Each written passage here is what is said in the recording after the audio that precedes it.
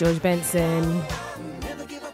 Never give, never give up on a good thing here on BBC Radio London. I'll put my teeth back in and I'll be able to give you the outros to the songs and speak to you properly, like a proper Londoner should be able to. But how are you doing? It is me, Jeanette Kwakye, with you on the afternoon show. 10 past 3 here on a Monday afternoon.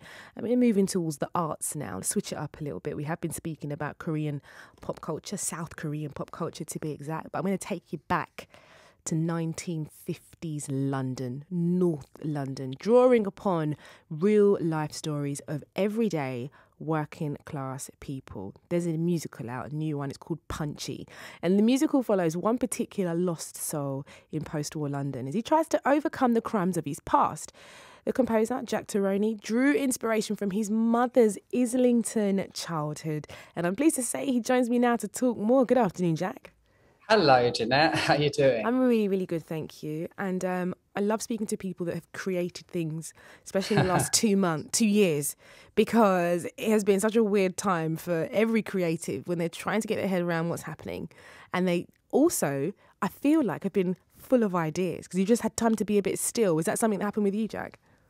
Yeah, for sure. Although uh, the journey with Punchy has been uh, about four years in development. Um, I was just getting down to that groove, actually, Jeanette, because it's quite appropriate, isn't it? it know? is.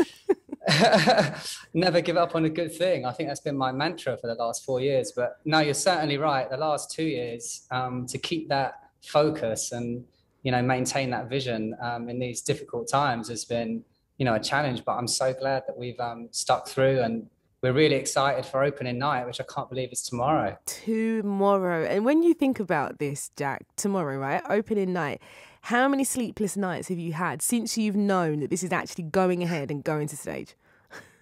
Yeah, oh, honestly, I have several grey hairs that I didn't know existed now.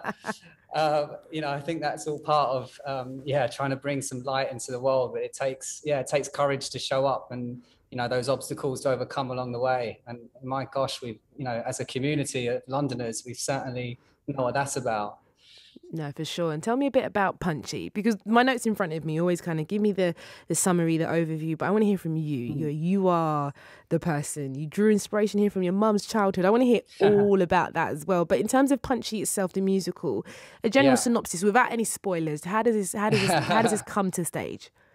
Well, it's actually really quite a unique story because um, I went to a writer's retreat about four years ago and met the author Richard Barrett, um, who's written a book called What My Soul Told Me.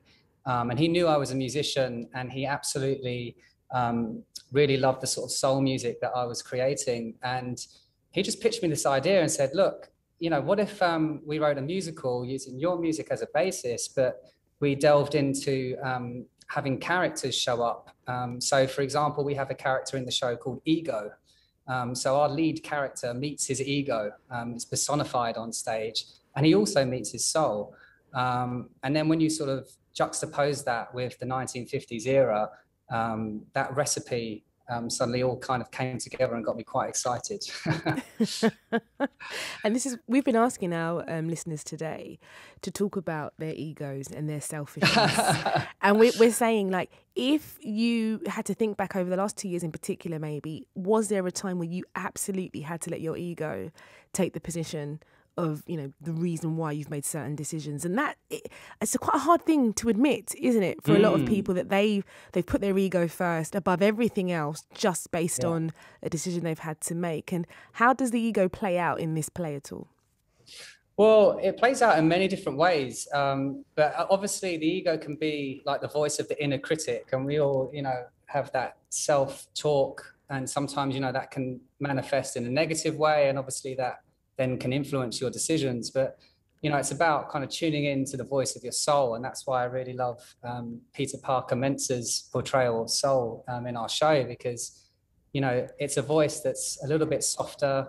And if we're talking about radio and sort of tuning in, you have to kind of tune your dial up to listen to your soul and follow, you know, the things that you want to do creatively with your life. Um, and we watch Punchy's journey. Um, in the first part of his life, um, he's living in an egocentric space. He's quite a volatile, angry young man.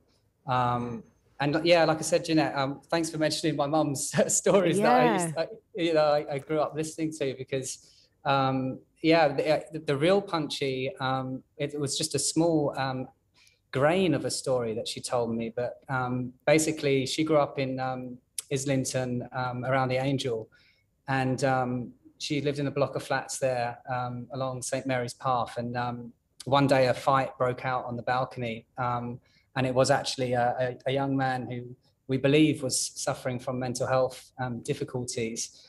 and he fled his family, and they never saw him again. And that story really touched my heart when I heard it. And uh, you know, I just sort of used that germ of an idea alongside um, a wonderful playwright in Kevin McMahon to think, well, okay, if we bring these ego and soul dynamics into um, our story, how could we imagine Punchy having an opportunity to live out maybe a different life, um, you know, where mental health um, resources were, were more available in a way. And um, yeah, that was the kind of uh, process behind it. Amazing. And did your mother tell you any other stories? Because I, I know with mums, with mums sometimes you, you give them a bit of a nugget and then off they go. Do you know what I mean? Like they really give you the story of, of, of a time. What else did she tell you about that time?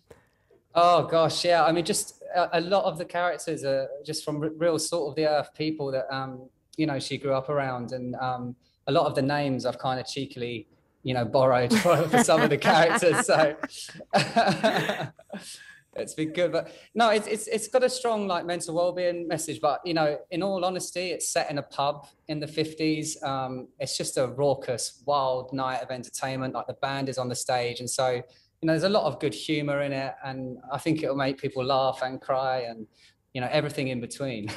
Was this always meant to be a musical for you jack uh, it's such a, uh, it's really funny, Jeanette, because um, I'm a rock and soul uh, songwriter first and foremost, an artist, you know. So um, whenever I hear the word musicals, I've always been put off by the thought of like jazz hands and glitter and so.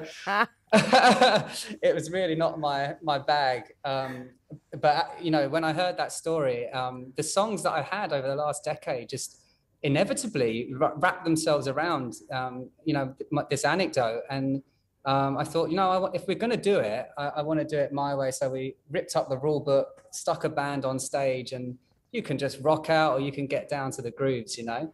I love that. I love that so much because I, listen, these these these are the things, right? Sometimes we don't expect to be in a position where we're ever going to do something, and then when you get involved and get into it, all sorts of inspiration comes from it as well. And how have how have rehearsals gone? Because whenever I speak to you know playwrights, composers, there's so many things you want to tweak. You got the vision, but maybe mm. it doesn't hmm. always manifest the way that you want it to. Would you say this is as close to the vision as possible?